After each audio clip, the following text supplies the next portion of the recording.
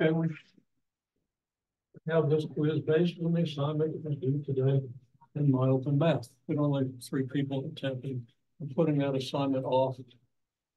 It'll be due along with the next assignment on Thursday. Okay, on Wednesday night. So be sure you get it done. You might have to go, you probably have to go to the half credit page. But if you go to the half credit page and do it, I'll transfer it over for full credit. This time.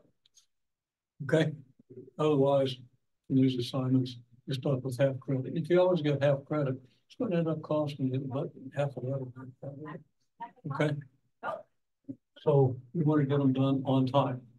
If occasionally you gotta do one for half credit, it's probably not gonna make a huge difference. Unless you're really, really close to the borderline and just can't make a decision whether to give you the higher or the lower grade. And I look back and say, oh, look at all that credit. Okay. Um,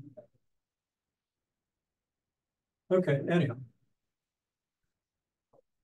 This is covered nicely on this side. So be sure you understand it. Now, you should understand it based on what we've done previously. Let me just give you an example of what we've done previously.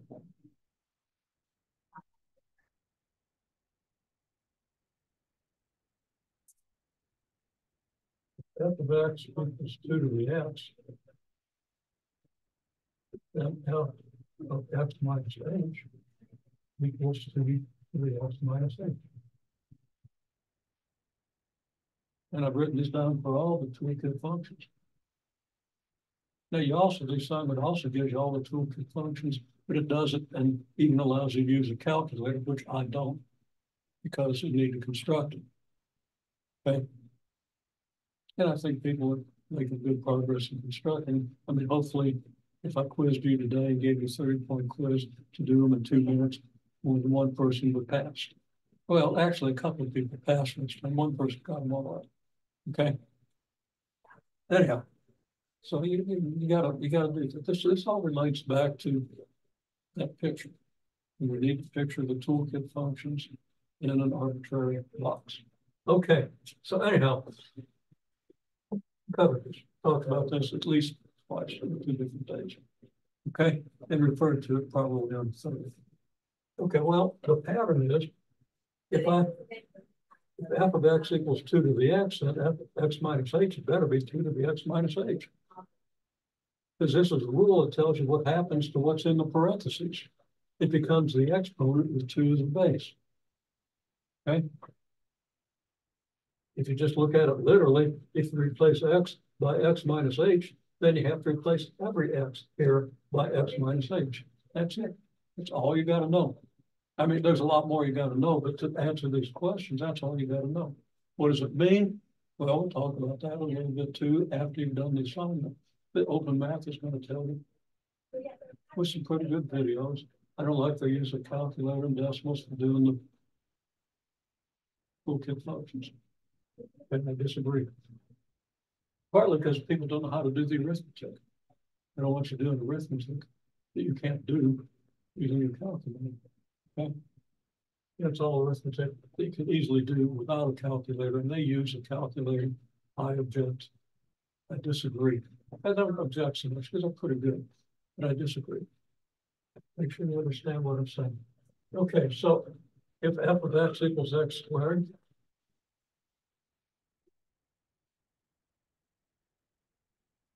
then f of three equals three squared. Now, if you want to say it's nine, that's okay. I know it's squared three, but I don't do that. I just replace x with whatever's in parentheses and write it out. And then if I want to calculate it, say three squared is nine, okay? And if that's useful to me, I'll do that. Okay, but I'm just gonna leave it at this. The rest is easy. Now, f of five minus of two. What's f of five? It's five squared. Because f of x is still x squared. F of five is five squared. f of two is two squared. So f of five minus f of two equals five squared minus two squared. You calculated it's twenty-one. I think I saw twenty-one somebody's page. Okay. So, you know, that's, that's good. you know. Didn't get them all, just for being here, I'll give you a point.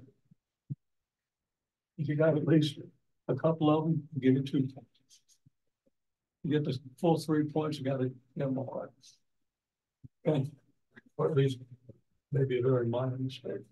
Okay. Well, then what's f of five minus f of two over five minus two?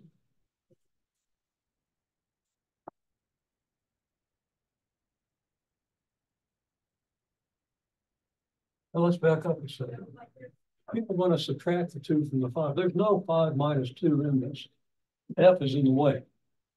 F says, do this. If you subtract, do five minus two, you're gonna get three, you're gonna get nine, you're not gonna get five squared minus two squared, which is twenty-four, so don't do that. Okay, it doesn't work that way. It's like you're trying to use a distributive law. And there's no distributive law um, for function notation. Okay, it to be a linear function, then the distributive law would work, but only if it's a linear function.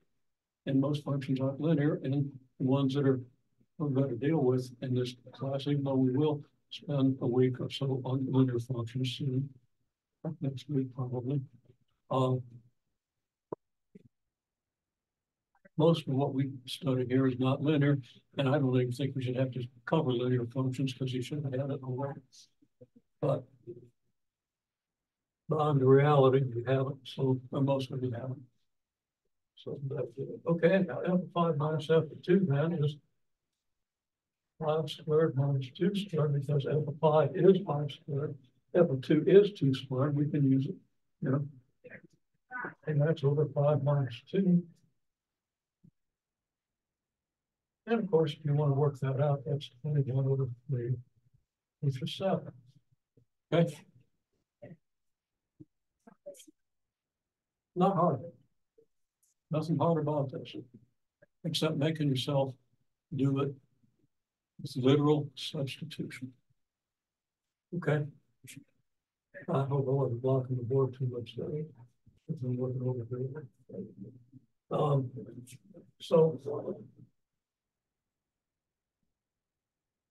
Let's do. L of X plus delta F.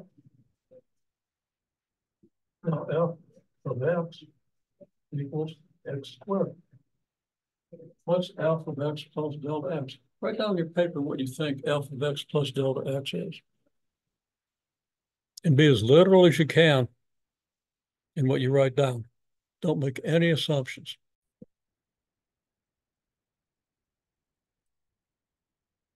Um, people really trouble seeing this. Let me write a little bit. It's really important. Remember, you're always welcome to sit close. Whatever, nobody wants to get close to me. I understand that completely. Okay, now, uh. It's L of X plus delta X. What's that equal? Well, that's square of whatever's in here. You gotta square this. And that's X plus delta X squared. That's what it is. If you write x squared plus delta x squared, it's wrong. But it's the right idea. You're just disrespecting the distributive law and you're not writing it literally. So if you wrote x squared plus delta x squared, okay, for now, but don't do the Okay. Now, what's that? just to be sure you understand why it's not what a lot of people want to write. It's x plus delta x multiplied by x plus delta x. You can't argue with this. Oh, you can, but you're not going to win. okay, that's what it means to square something. You multiply it by itself. And that equals, by the distributive law, x multiplied by x plus delta x plus delta x. multiplied by x plus delta x. Because when you have this plus this times something else, that means you multiply this by something else. And add what you get when you multiply this by something else. That's a distributive law of multiplication over addition. And people screw that up. Regularly, no matter how much I preach against it. Okay? Anyhow, comes out like this, and you should try to understand this. We'll talk about it more in detail, but it's not something we can do a lot of because we can't teach you the algebra that you need in order to do this. We can just refer to it and expect you to go to tutoring, get on the internet, and make sure your algebra is up to the course. You're all smart. You can do this. Okay, anyhow, it's x times x plus delta x, which is x times x plus x times delta x plus delta x times x plus delta x times delta x.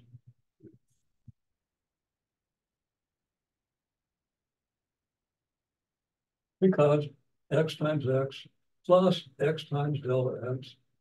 And then we add delta x times x. And then delta x times delta x. Very simple. That's a distributive law. If that doesn't make sense to you, you're gonna need to upgrade your algebra soon, but it's not all that difficult with a little practice. Okay.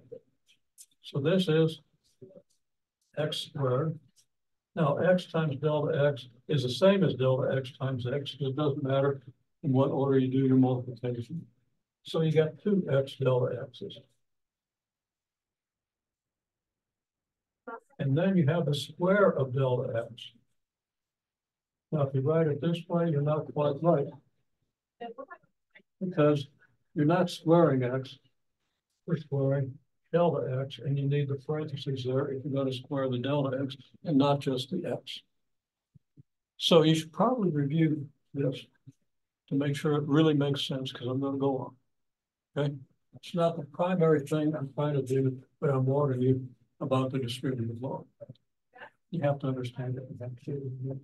Okay. Then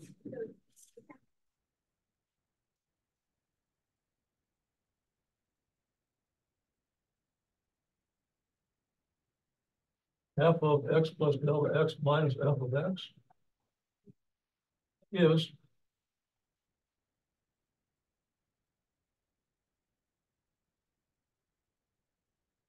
x plus delta x squared minus f of x is just x squared, there it is.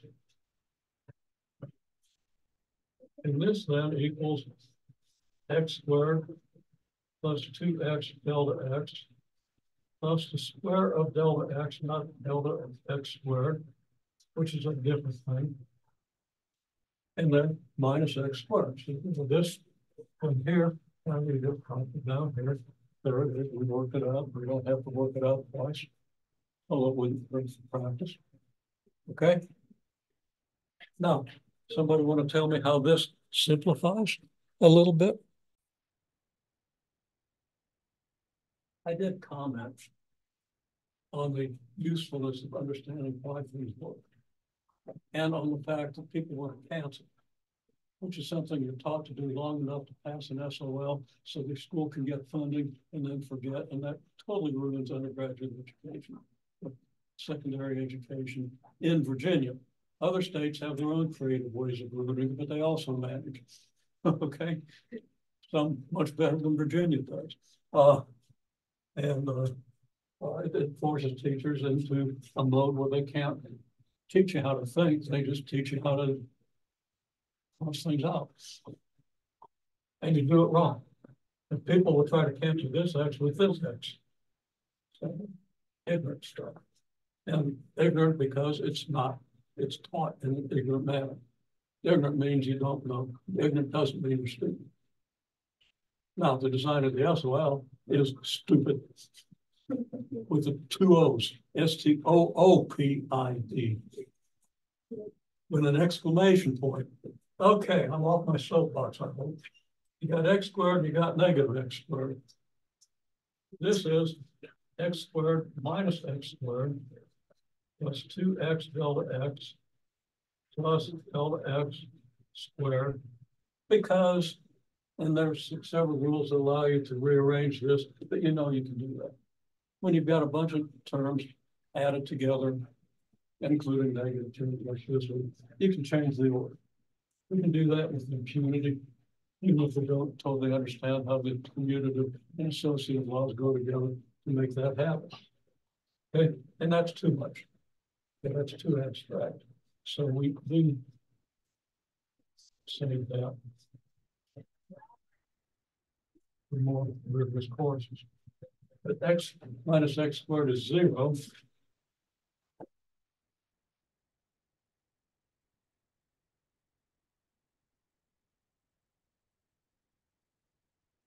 So we don't have to write it out, and there it is. Now, there's one more expression, it's very important. The most important expression you're going to see in your pre-calculus course, if we're really teaching pre-calculus, not algebra. It's not, this course, we've seen algebra, but of course, I know that it can be seen. And I'll tell you what to review and what to know. Okay, two x delta, okay, so here's this is called a difference equation. Is the foundation of calculus. And it has an interpretation that we see soon. Okay. If we do this, same expression here, but divide by delta x. This then equals two x delta x plus the square of delta x all divided by delta x. There's a distributive law here as well because you're multiplying this by the reciprocal of delta x. It's like one over x multiplied by all of this.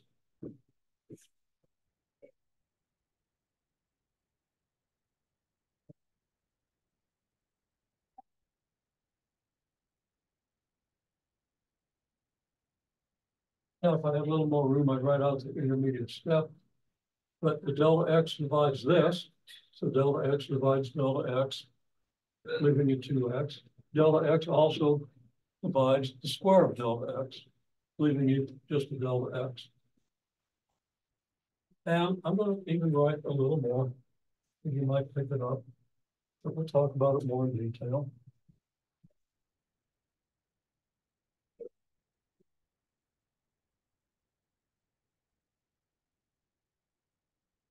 You let delta x shrink to zero, what are you left with?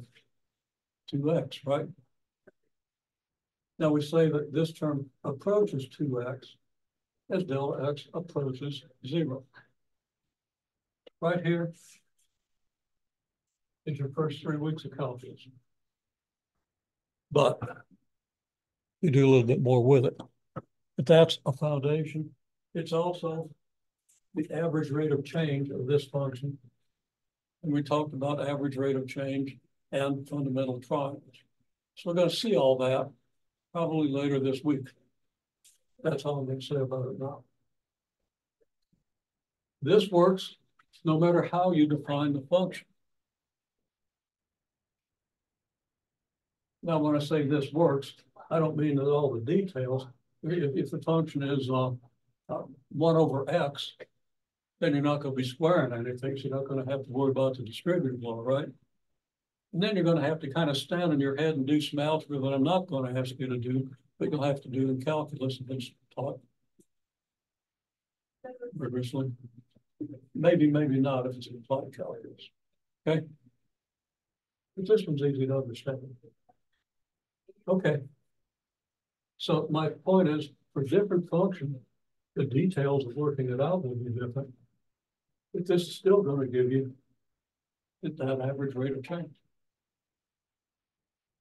And if you let the delta x approach zero, it gives you the instantaneous rate of change. That's all I'm going to say. It's the third time I've said that's all I'm going to say, but that is all I'm going to say. Right now, I'll say more next time. Okay, so there we have it. There's function notation. Well, that's the biggest hurdle in the section one point one assignment. So make sure you understand it when you see it in the assignment. And if you're getting the right answers on the problems and not, haven't seen this, then you probably ought to think about doing the problems more independently without watching the videos as you do the problem. Like watch the video, put it away, try the problem. You get stuck, okay, flip through the video until you find the part you missed. Fix it, put the video away and redo it. That's how you learn. Okay, you don't learn by just imitating, okay, this is supposed to go there, so I guess this is supposed to go here. You get the whole idea. And the idea is not difficult. The idea is just whatever's in here replaces X everywhere. That's it. That's all I'm going to say about that, except every time I do it. I'm not going to explain it. Make sure you understand. I think you will. And if you did the assignment and couldn't do the quiz today, do it again for practice without looking at anything. Okay? Make sure you can just get through that assignment in no time. There are many other things. I'll mention a couple of them.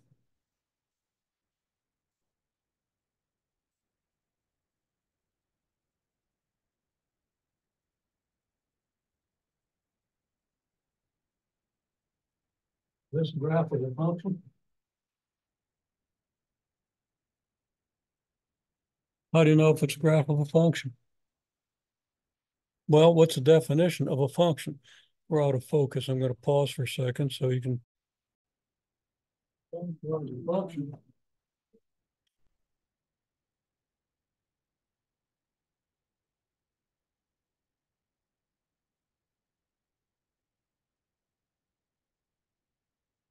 Only one y value. Each x value. Well, they were here in the domain. Now we talked about domain. Last week sometime, two weeks ago. Maybe two weeks ago today. I don't remember exactly what the day was. And it'll be up to you to kind of make notes of what's in the videos or what's done in class, so you kind of know where to look if you do need to look at things, okay? That's the short way to understand the course and do well. Okay. Even though it takes a little longer to do that, it organizes your thinking, reinforces a lot of things, and helps you understand everything. So in the long run, you perform better for the number of hours you spend in the course. And you've got to spend some good hours in course. Okay, so only one y value for each x value in the domain. What's the domain? As I graph this function, the domain is all the x values. So all the x values. What? I'm not going to do them all because there are a whole lot of them. I think there were many, it's taking much forever. Okay. Uh, if this point is included on the graph, this point is included on the graph, and this point is included in the domain, and so is this, and so is every other x value between.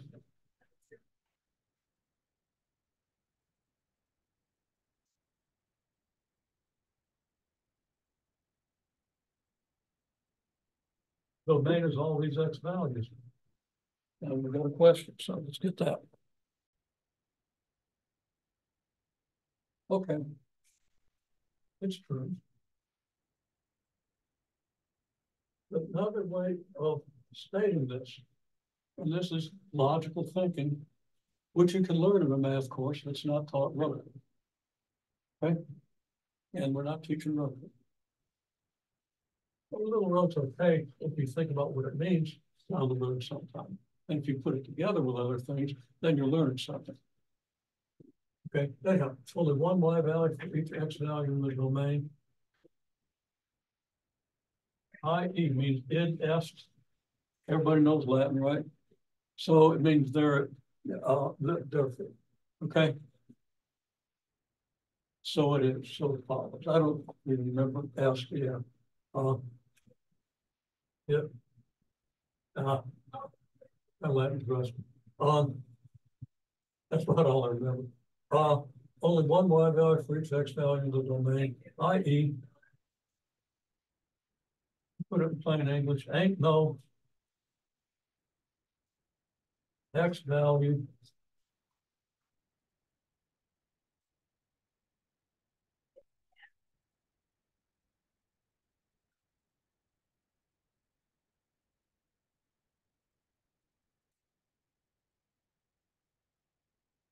What has two or more Y values.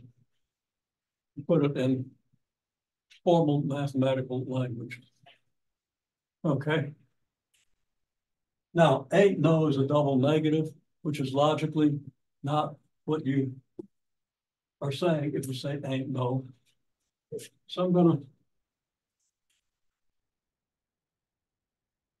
take the word ain't out of there. One reason, if ain't is a word people don't like to use is it gets misused like with ain't no, without understanding the logic of it. Okay, well. Whether Thomas Jefferson mentioned the quadratic formula in the Declaration of Independence or not, this kind of logic is important outside of mathematics. Okay. No X value. What has, well, to be that has. Two or more Y values. But I'm trying to go to the vernacular. No. Is this so? I'm saying there's no X value that has more than two or more Y values. Can you show me an X value that has more than two Y values? How about this?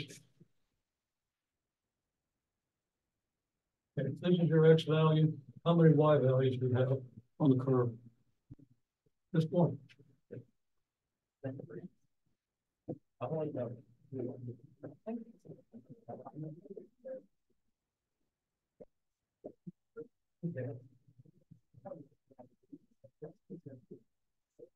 That's the only Y value for that X. Okay, what if I turn this graph around? So that it looks like. This.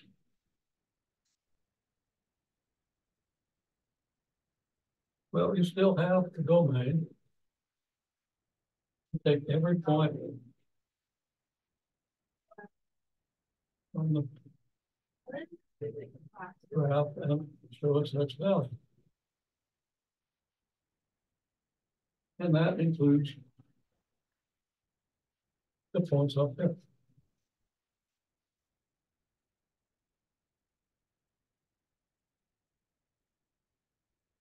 Now the orange vertical lines kind of stop here. But that doesn't change the fact that uh, points up to here are in the domain because they're parts of the graph have X value there. Okay, so here's the domain, all the way from here to here. Now, all the way from here to here.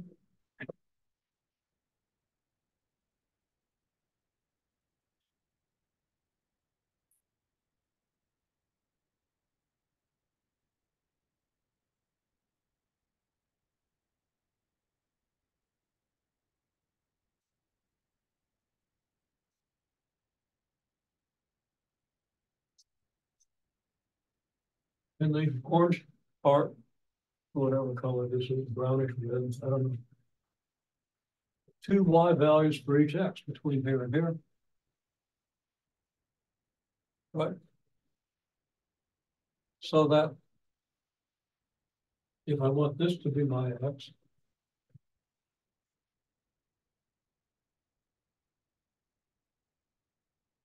and we will use some kind of, call it, uh, um, And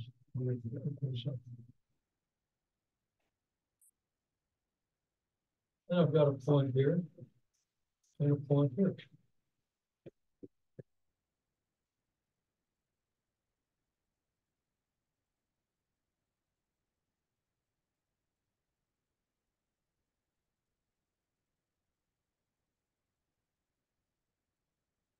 And this is a vertical line that passes through the graph in two points. Right? You have a vertical line.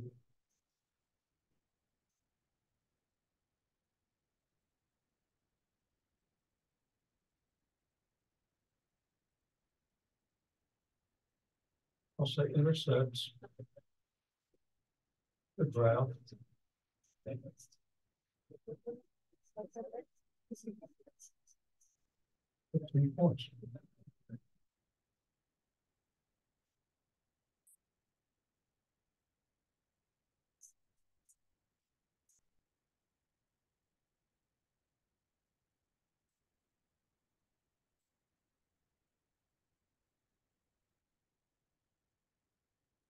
So this graph does not represent a function. Now you got the vertical line test.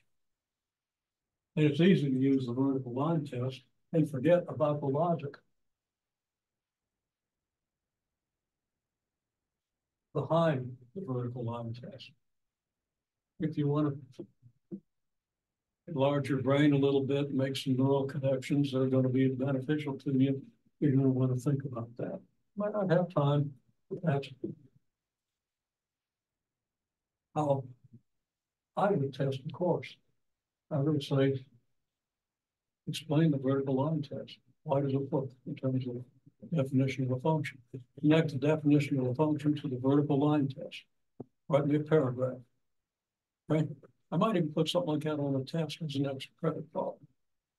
So, not saying I will, but uh, it's worth it just for your own general benefit to understand that logic. Okay.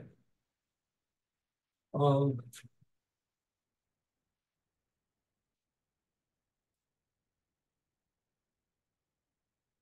Well, that's a definition of a function.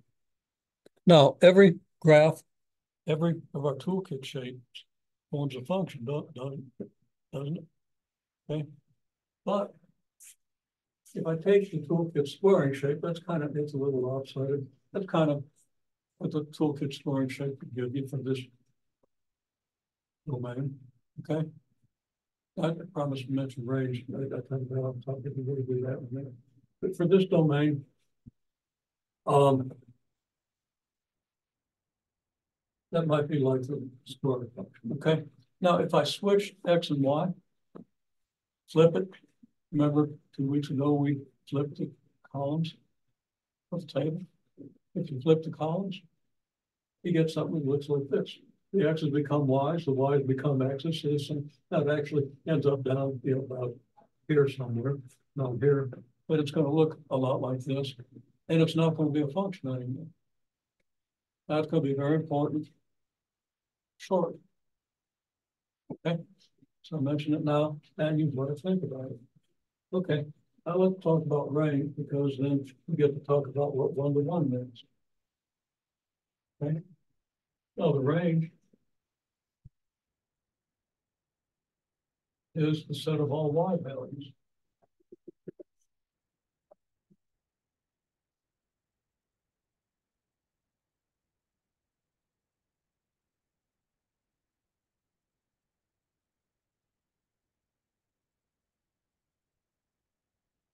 Here's a picture of the range.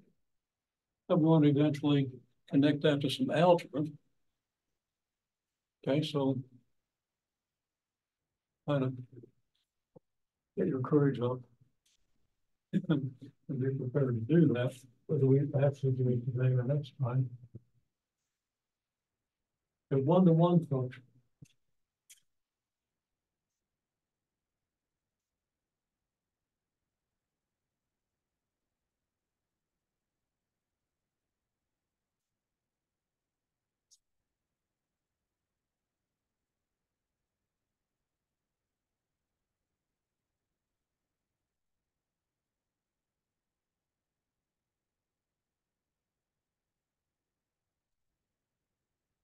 Have exactly one Y for every X. Okay. Uh, and I, I for the start of it, I'm not sure exactly one X for the Y.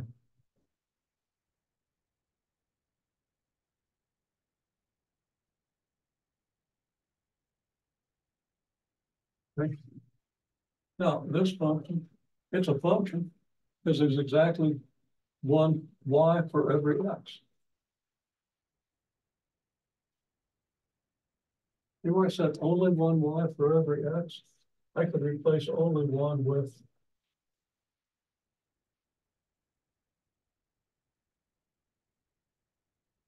Exactly one.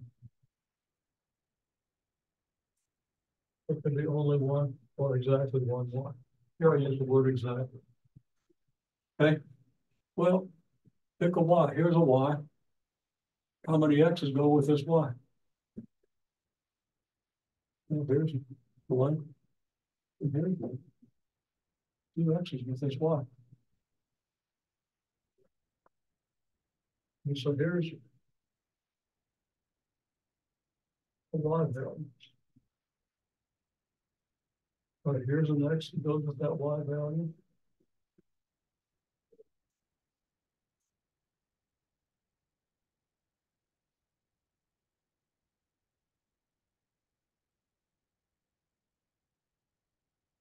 We have two X values.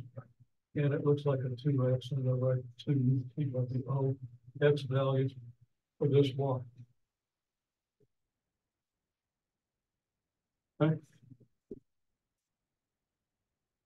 And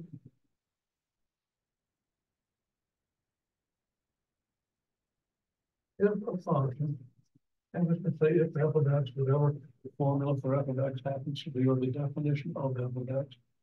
If f of x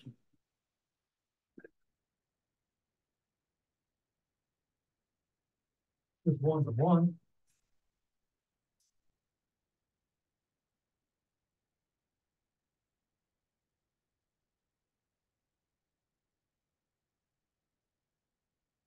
then we can swap x and y values.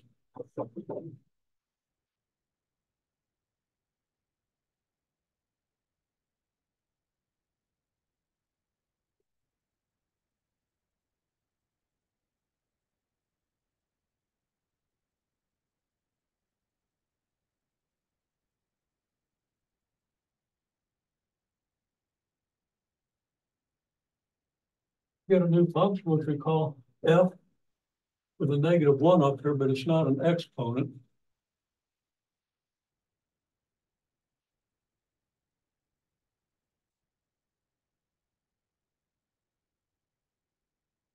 And read that as f inverse of x. Now you're gonna have to kind of sort that out. and I am not going to show you about it. now. You gotta work through the assignment with good understanding. So you can understand this. Okay? And uh, you, you can do it. You just have to be sure you spend the time.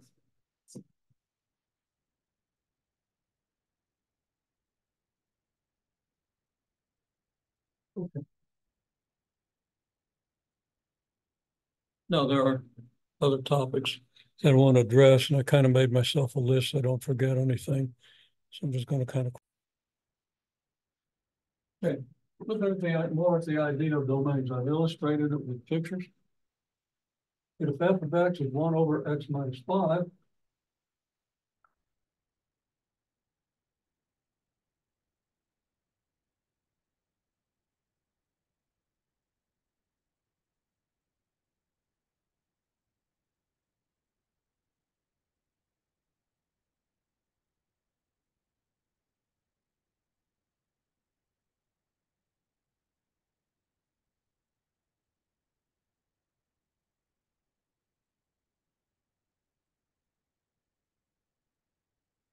you substitute any X value except what, and get a Y value.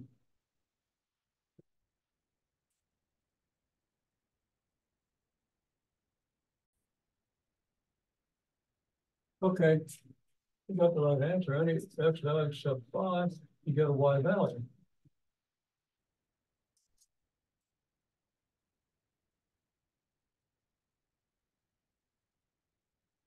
And we'll say Y equals zero.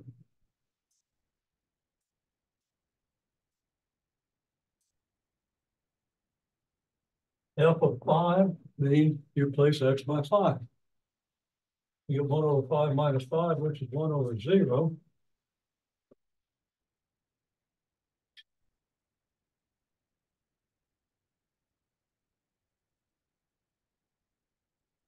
Which is undefined. Now, I'm gonna quickly show you in terms of graphs that you know why this is undefined. Okay? Right here is the point five zero. Right here is a four by four rectangle. And when we construct our reciprocal shape within this rectangle,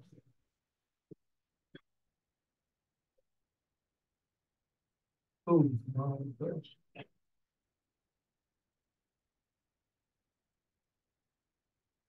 Don't do that. Okay. Here's our center line. Here's our vertical center line. And we make a little darker, and we know that our graph looks like this.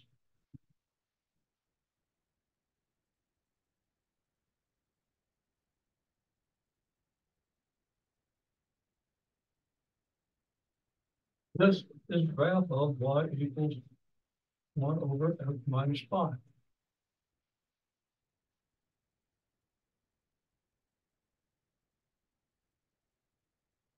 This is the line. X equals five.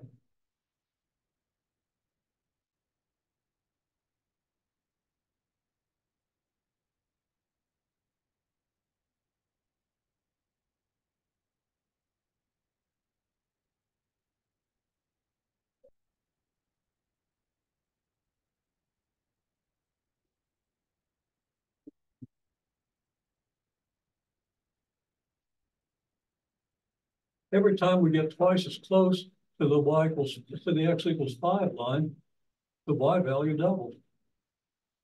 That should be obvious. If you understand the construction, because each of these lines is twice as close to the one before it. Okay? So if we continued to go twice as close, we would continue to go twice as, and when I say twice as high,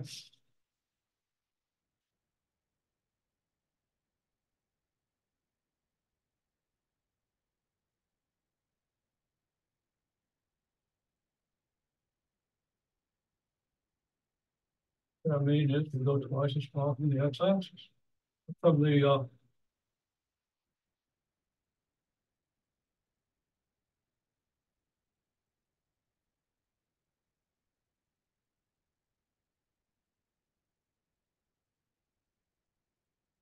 The horizontal center line, sorry.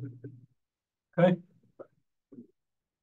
In other words, twice as close, twice as far. With this far, we go twice as close, now we're this far. We go twice as close, now we're this far. Now the domain of this, as I've graphed it, stops here, goes from here to here, and then it picks up from here to here. Nothing in between the two. But if I continue this process, as I've said before, we keep going twice as high as we go twice as close. And there's no limit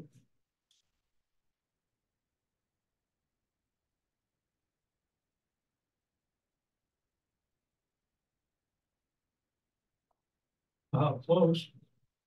How close to what? How close to the x equals five line? I leave that implicit. Okay?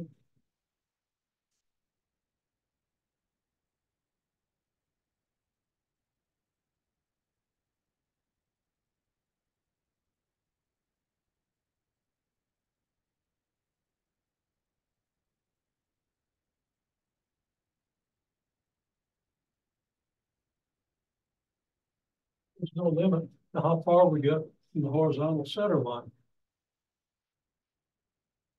So if we say that there's some number that's equal to f of five, that means there's a point on this vertical center line. There'll be no point because we can never get to the vertical center line. Okay, and the closer we get, the more we keep going twice as far. Doesn't take many steps until we're out of the atmosphere. Doesn't take that many more before we get to the moon. Doesn't take all that many more before we get to the edge of the galaxy, which is way, way further than the moon. Okay?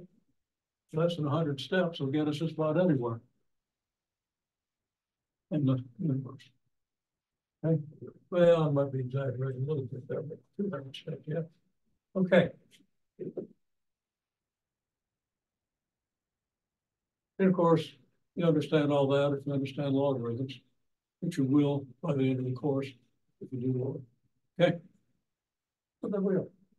Uh, this is why we say that division by zero is undefined, not just because of this graph, because of any such graph or any such process.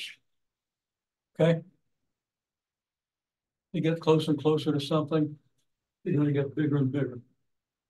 And there's no limit to how close, so there's no limit to how big. That's real important. If you want to understand a little bit of calculus, it's real important if you want to understand things like we've been talking about. Okay, including some things that are of practical value, no matter what Thomas Jefferson left out of the Declaration of Independence. Okay? Oh, I can't believe the morons of that. Okay, or the bad thinking. That's no more. That wrote the article I'm talking about. Um, it's making a, a terrible point. Um, misunderstanding what it means to learn mathematics. Okay. Yeah, the curriculum misunderstands it too, so it's got its points. Okay, well. Enough my raving. Um. The point then is.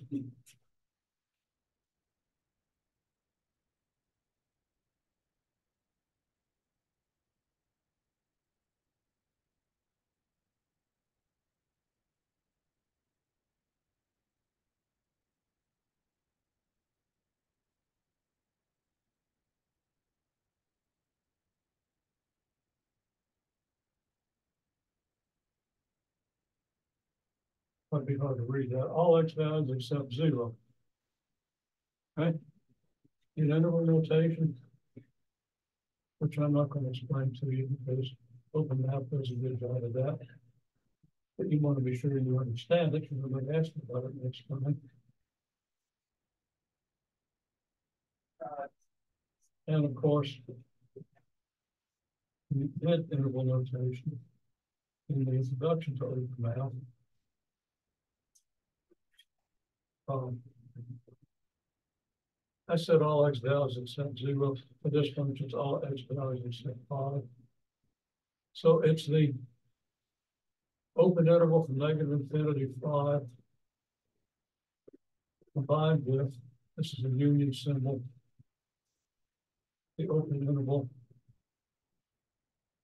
From five to infinity. The parenthesis as opposed to the bracket means that five isn't included here. This open parenthesis means it's not included here, so it's not included. Well, that's what you have to understand about the domain. So one restriction on the domain is you're not allowed to have zero in the denominator. Okay? That's one rule that you look for. And there are only about two rules. I can't think of a third one right off, uh, unless you go to piecewise functions and stuff, I'll let you read about.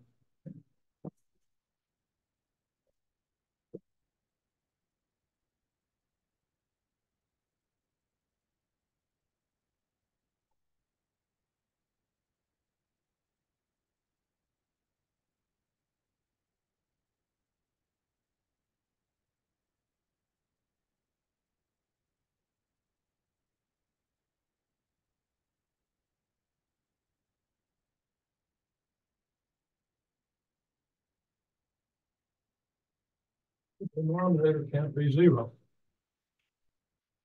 Okay. Another one is.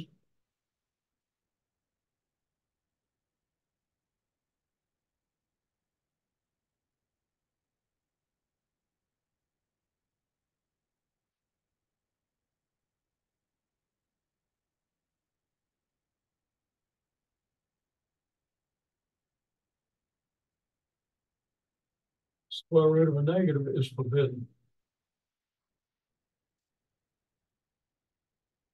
I'll just write this because I can't help myself.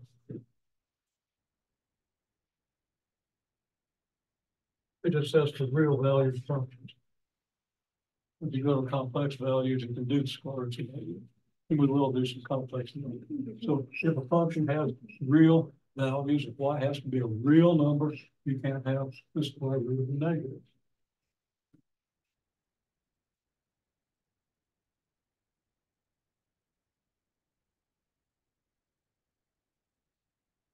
And more restrictions, it's not the only two, but these the big two that you need to understand right off the bat.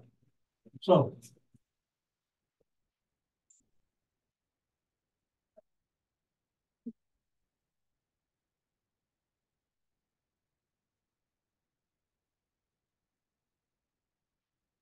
What's the domain of the square root of x plus pi?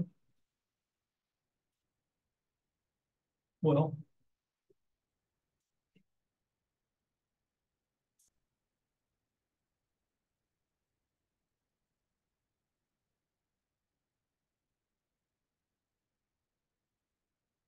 What's plus five can't be negative? Now, why can't you have a negative under square root? Because the square root of a number is a number you multiply by itself to get that number. That's a lot of numbers, but uh, it means if you square the square root of a number, you should get that number. You can't get a negative number by squaring a number. You square a negative number, you have a negative times a negative, which is positive. Okay. If you square a positive number, well, it squares positive. Okay. Square of any real number is positive, except of course the square of zero is zero, but that's okay. Square root of zero then is zero.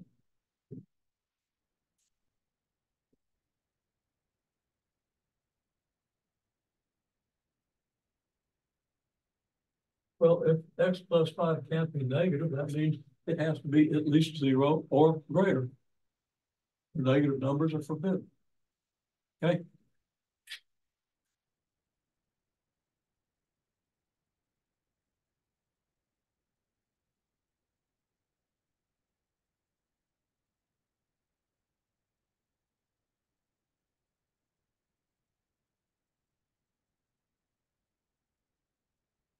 They conclude that x is greater than negative, greater than or equal to negative five.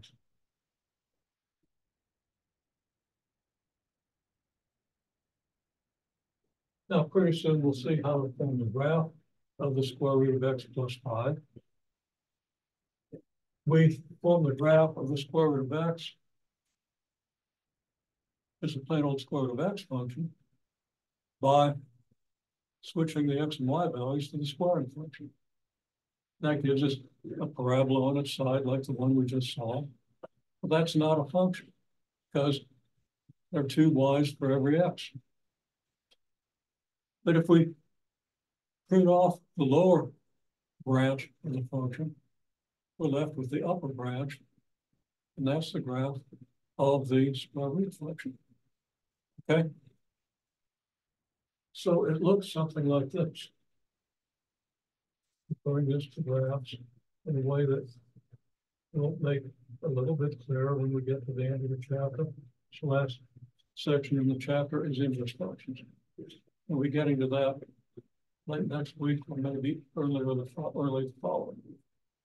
Okay, right there's a graph of, you know, you can think, okay, there's the square root function where you've switched x and y values. Now it's got a branch down here, but we don't include it.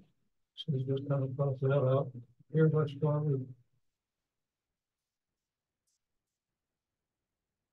Well, then where is the square root of x plus five? Right. Come over here to minus five. And we draw the same shape.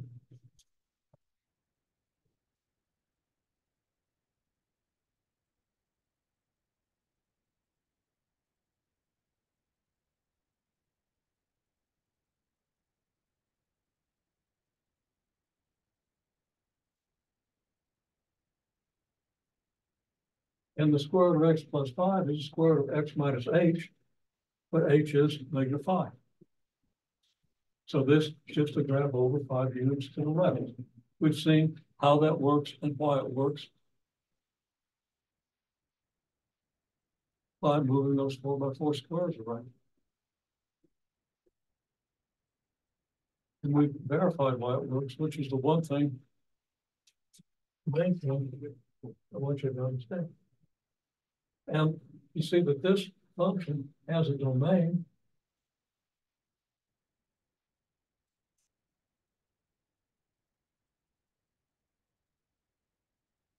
And this keeps on going. The domain consists of all numbers greater than or equal to negative 5, and it includes negative 5.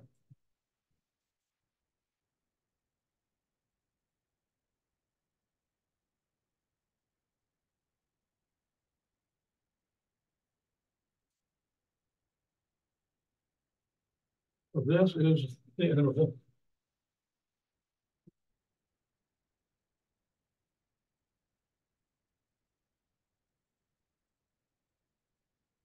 You don't need the picture of the graph to know that this is the interval that goes along with this inequality. Now, a few of the problems are going to require a little more algebra than that. Like if this was two x plus five, what would change? Well, then you have two x plus five greater than or equal to zero.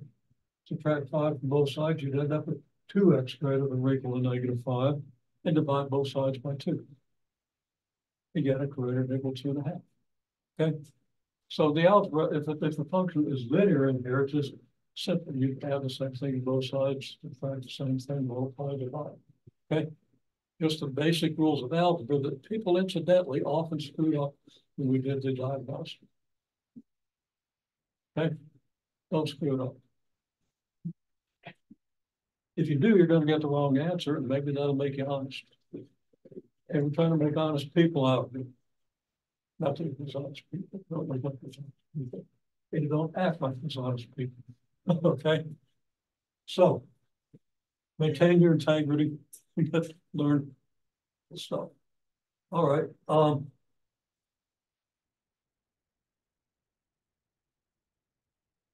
That one more time, that article I'm thinking on. I didn't read every word. But I read enough to understand the main thrust, and if I. Call a guy a fool, it's not really so, very smart guy, making an important point, but doesn't understand what can be done with mathematics education. Okay, um. Now, there's other stuff I was gonna go over today, but uh, maybe I've laid enough on you. Let me just take a look.